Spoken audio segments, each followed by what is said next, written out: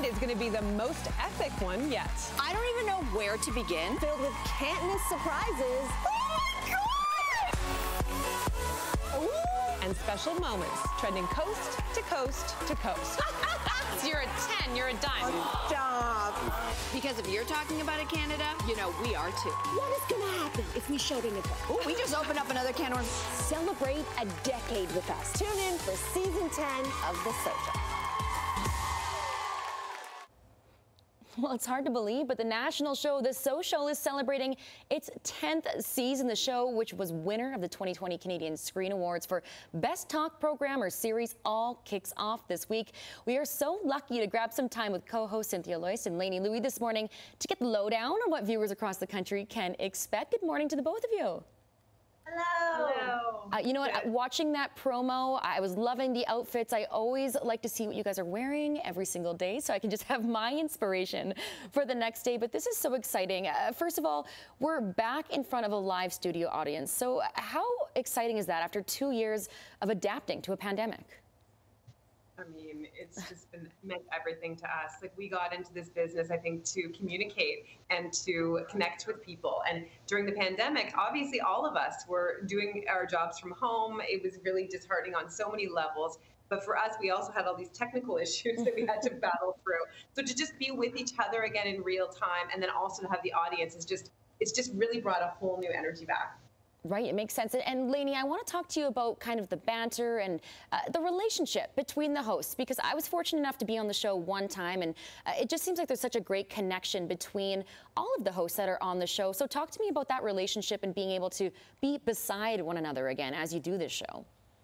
Well, we're we're friends, so we aren't just together on camera, but oftentimes we're together off camera and that really is the foundation is our care and respect for each other um, and i do think that that is what audiences respond to that these are four people who are very different but who can still find ways to relate to each other mm-hmm. and that's representative of i hope our relationship with the viewers that we are all different that they're different from us but in some way maybe for an hour um, every day monday to friday we're all connecting in, in, in, in, a special way. Yeah, and you're right. You take on some hard topics. Uh, you know, you discuss a lot of things between uh, everyone who's there, always seeing the different opinions. It, it's fascinating to me. Uh, Cynthia, can you talk to me about some moments that have really stood out to you over the years? I think there's a video coming up where your crush was revealed to, to one of my crushes as well.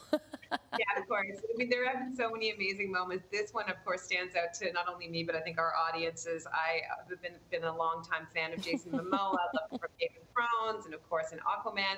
But he, uh, I'd spoken about him a number of times on the show, and then we found out he was going to be on the show. So one of our brilliant producers put together a compilation of my most ridiculous statements that I said. A lot of them were quite inappropriate as well, and then they played it for him.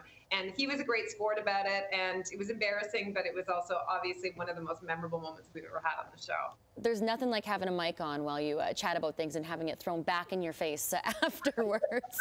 That's so great. Now, uh, you know, like I mentioned, I am a viewer of the show. I also was so honored to join you guys once on the panel, and even then I felt the pressure of looking at these issues and trying to think of all Canadians' perspectives. So, uh, Lainey, can you talk to me about some of the responsibility that comes with the role as we do delve into these topics?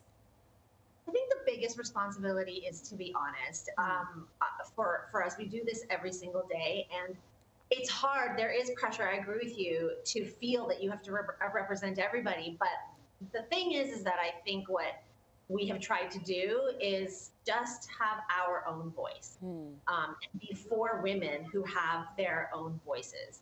That, uh, in and of itself, is radical uh, for us at least to to be in this profession to have a platform to be able to speak our minds even though our opinions might not be popular even though people might disagree with us.